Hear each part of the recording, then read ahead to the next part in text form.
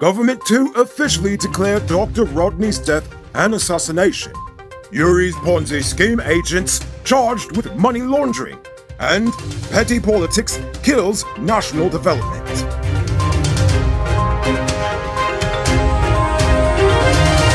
I am Noriko Bulford, and welcome to tonight's edition of Uncut News. Before we begin, do you have something important you want to leak without revealing your identity? Send us a tip on WhatsApp at 592 659 6151. Close to 41 years after his death, and the government is finally going to put some respect on Dr. Walter Rodney's name.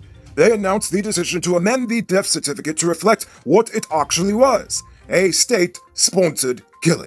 They've also promised to actually give him some modicum of the recognition the man's legacy deserved by offering to pay for the upkeep of Rodney's grave and putting his books in the education curriculum.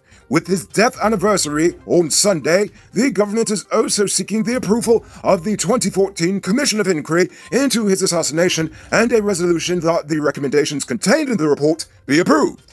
While I believe this is a great symbolic move, this is awesome, but you know, if we are serious about justice and fairness, this government should investigate every state sponsored killing, regardless of whose government it took place under. A new session of Parliament began yesterday, and as expected, the PPP used their majority to shoot down any motion the opposition brought to the floor of the National Rum Shop.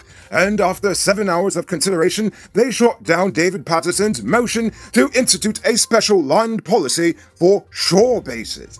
The motion proposed that a multi agency task force be formed to examine a land use policy for the oil sector and mandate that all future shore bases be state owned, but leased to private operators. Pato suggested that additional shore bases be built in Berbice and Essequibo to decentralize the employment footprint of the oil industry and to reduce the risk of environmental hazards affecting the nation's largest population center pointing out that the current shore base location in Houston is making life hell for commuters and the surrounding community. But the PPP wasn't hearing it. They said that it was just another attempt by the coalition to derail development in a holistic way while deceiving the Guyanese populace that it cares, pointing out that during its time in office, APNU had no interest in having a land policy. They also responded that a special policy cannot be put together for the oil sector alone. Dr. Singh stressed that a land policy must be done in a holistic way. 31 voted in favor and 33 against. Also, coming out of yesterday's rum shop session is the admission that the 500 million Guyana dollar Diamond to Eccles bypass road was built without a feasibility study done whatsoever. The half a billion dollar project also did not go through the typical procurement and tender method. However, Housing Minister Collin Croal claimed that no procurement method was required since all the designs were done by the CH&PA. Nevertheless, the road, which was expected to be completed in April, is still under construction. Scamming Yuri is going down, and he's taken everyone with him. Yesterday, SOCU charged fellow Ponzi schemers Aubrey Norton and Martina Sepersod with money laundering. The pair are accused of scamming victims out of millions of dollars and using the proceeds to purchase properties that were later sold to overseas customers. A classic money laundering case. They were not required to enter a plea and were placed on $500,000 bail each. The matter was adjourned to next week. It should be noted that these are the first ever money laundering charges to be instituted by SOCU since its establishment in 2014 which, given the number of scammers and traffickers out here, I think that's pretty pathetic. Now it's time to tell you about Best Buy's car of the day. Currently on sale is this Toyota Rush. It comes with mag rims, new tires, DVD stereo, reverse camera, rear spoiler, and much more. Buy cash for $2.8 million. All paid down as low as 560,000 down, with around 63,000 monthly for four years, and it's yours. Call or WhatsApp 662-0844 for more info, or visit the showrooms at Lot 171 Peter Rose Street, Queenstown, or Lot 2 Lamont Street, and tell them the Rico sent you for this sweet, sweet deal. Last evening, police on the west coast thwarted a robbery in Tuschen. According to police, two patrols were dispatched to the area after Ronks learned of the robbery plans. A red car fitting the description was discovered near the location. A chase ensued, but he managed to elude the police. The car was found abandoned a short distance away. It was impounded by the police. The owner, who operates a car rental service, was contacted and was taken into custody. Down in Linden, 24 year old Hosea Ajadai collapsed and died this morning while in police custody, just days after being arrested for killing his mother, 65 year old Wanda Wilson.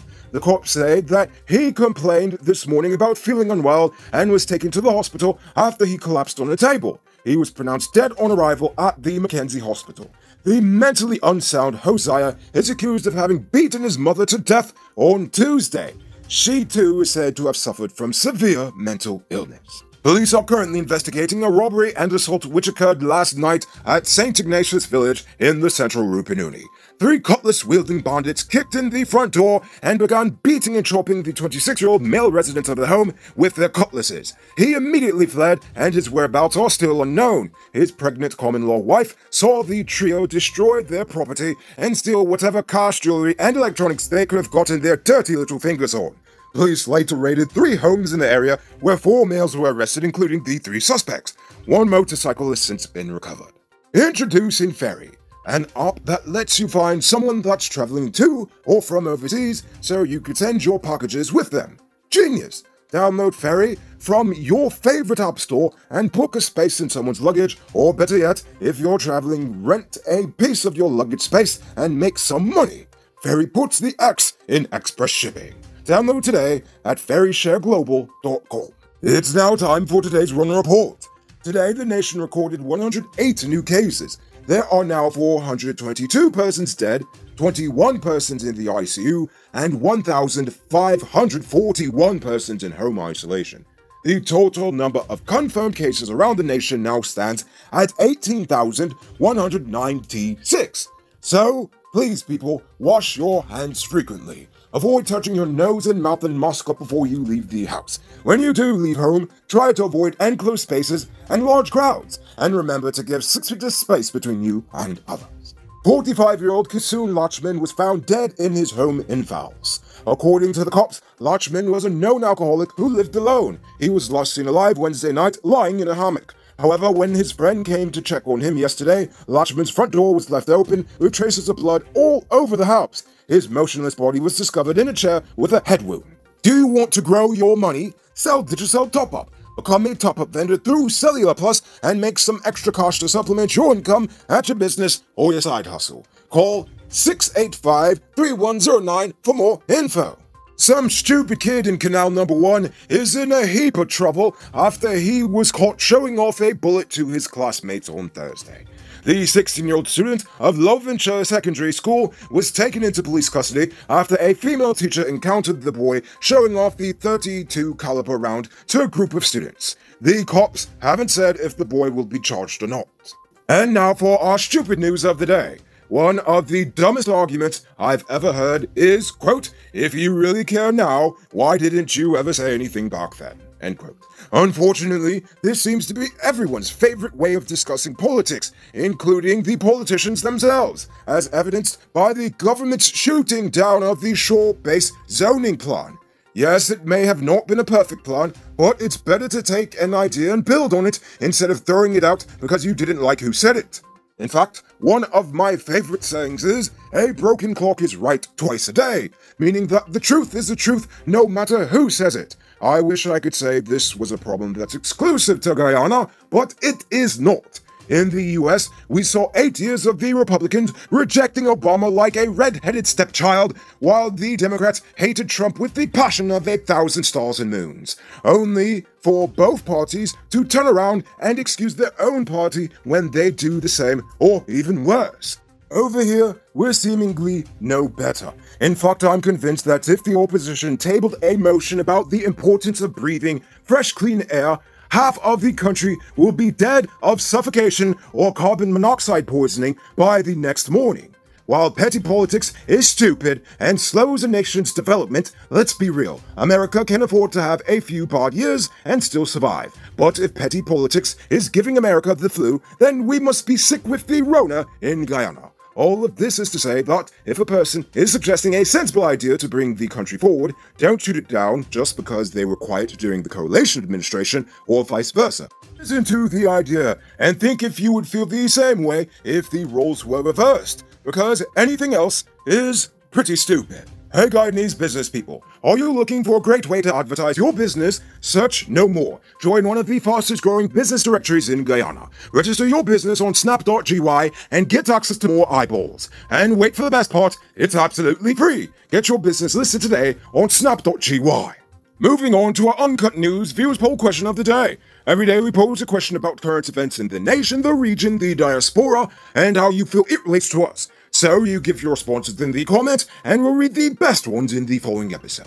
Yesterday's question was Do you think the incoming Iranian vessels will lead to a conflict, or will they comply in return? Why or why not? Guyana Sun said Venezuela should get no weapons until it ends its threat to neighboring nations, particularly us. We already have a crisis with Venezuelan sindicatos getting hold of military weapons for use or resale. Jay Jairam said Iranian warships are testing Joe by. Carl Somwa said, Nah, them battleships is just another show of aggression. And finally, Mr. Hall said, America already has things in place to stop the ships. Why? Because they have invested in Guyana's oil, and Venezuela can be a threat to their profits. So let's see what will happen next. Alright, so good answers, people. So for tonight's question, do you believe that the nation's current land use policy should be updated? Why or why not? Think about that question and tell us in the comments below. If your response is good enough, we just might feature it in our next episode. Anyway, that's all the time we have for tonight. Check us out on Monday for another. Until then, I'm Noriko Bulford saying, have a great weekend. And as always, don't drink and drive, or you'll end up on Monday's episode the hard way. Ha ha! Good night, folks.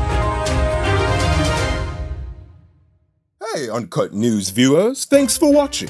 You can subscribe by clicking on this button over here, or click over there for more news. You can also drop a comment to let me know if you've made it to the end of the video. Goodbye for now.